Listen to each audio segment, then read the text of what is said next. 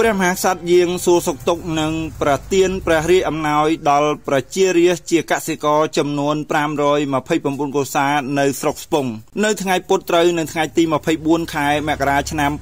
2024ព្រះករណាព្រះបាទសម្ដេចព្រះបរមនាថនរោត្តមសីហមុនីព្រះមហាក្សត្រនៃព្រះរាជាណាចក្រកម្ពុជា ជាទីគោរពសក្ការៈដ៏ខ្ពង់ខ្ពស់បំផុតព្រះអង្គបានសពព្រះរាជហឫទ័យស្ដេចយាងសួរសុខទុក្ខនិងប្រោះព្រះរាជទានព្រះរាជអំណោយដល់ប្រជារាស្ត្រជាកសិករចំនួន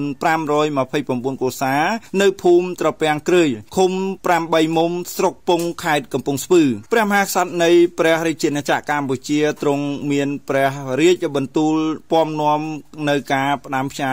នៅការសួរសុខទុក្ខពីសម្ដេចព្រះមហាក្សត្រីនរោត្តមមុនិនាថសីហនុព្រះវររាជបិតាជាតិខ្មែរនៅសេចក្តីនឹករលឹកជាពុនពេកចំពោះកូនចៅចៅទួតរបស់ព្រះមហាក្សត្រីពីចម្ងាយព្រះមហាក្សត្រមានព្រះរាជបន្ទូលកោតសរសើរលើការដឹកនាំរបស់សម្ដេចតេជោហ៊ុនសែនអតីតនាយករដ្ឋមន្ត្រីនៃព្រះរាជាណាចក្រកម្ពុជា និងសម្ដេចកតេប្រតិបណ្ឌិតប៊ុនរ៉ានីហ៊ុនសែនបានធ្វើឲ្យប្រទេសទទួលបានសុខសន្តិភាពនិងការអភិវឌ្ឍគួរស្ញប់ស្ញែងនៅលើឆាកអន្តរជាតិដែលបច្ចុប្បន្នកូនចៅទទួលបានពេញលេញការរស់នៅប្រកបដោយសុខសុភមង្គលព្រះមហាក្សត្រព្រះអង្គមានព្រះរាជបន្ទូលបន្ថែមថាបច្ចុប្បន្នក្រោមការដឹកនាំរបស់សម្ដេចមហាបវរធិបតីហ៊ុនម៉ាណែតនាយករដ្ឋមន្ត្រីនៃព្រះរាជាណាចក្រកម្ពុជា កម្ពុជារឹតតែទទួលបាននៅភាពកក់ក្ដៅបន្ថែមហើយតទៅអនាគតកូនចៅសម្បូរសប្បាយនិងមានការអភិវឌ្ឍកាន់តែរីកចម្រើន